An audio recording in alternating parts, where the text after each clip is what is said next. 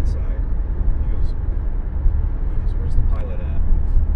Pilot was walking out about that time. And just want to shake his hand. He goes, I just want to shake your hand for giving Lumpy his last ride. It's funny. Lumpy. Lumpy. How bad must have that car driver felt? Because I got rear-ended by a woman on the 215. I was parked, getting off the 215 to turn right, and she must be on her phone. Yeah. She wasn't looking. She probably hit me about 30 miles